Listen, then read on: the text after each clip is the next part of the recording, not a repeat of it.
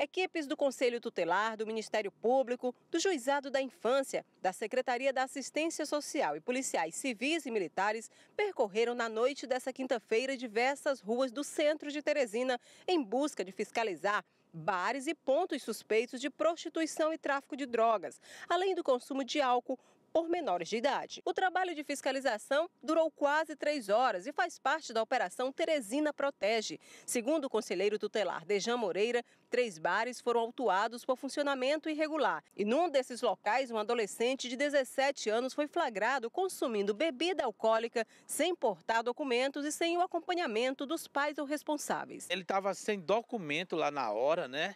E aí ele foi realmente é, o dono do bar o dono do bar, porque é o seguinte, gente, é proibida a venda de bebidas alcoólicas. E o proprietário do bar sabe disso. Então o adolescente estava lá, de 17 anos, sem documento. O primo, que seria o primo, estava sem documento, ou seja, o dono do bar foi levar para a central de flagrantes e aí o, o, o adolescente também para ser ouvido lá pelo delegado. Durante a operação em um estabelecimento que, segundo informações, funciona para prostituição e consumo de drogas, uma criança de apenas 4 anos de idade, neto da Maria de Lourdes da Silva, de 74 anos, a suposta vovó do tráfico, que morreu recentemente na penitenciária feminina, foi flagrado no local em cuidados de uma tia que alegou estar administrando o ponto no momento da fiscalização. A Operação Teresina Protege, que iniciou nesta quinta-feira, terá continuidade e será levada a outras zonas da capital teresina. Assim que nós chegamos,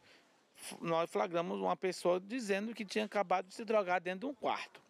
E quem estava neste local respondendo temporariamente, porque o dono não, não estava, como ela é a tia e a criança não assustar a criança, ela ficou com a tia e os documentos nós levamos para o conselho tutelar, onde ela será ouvida.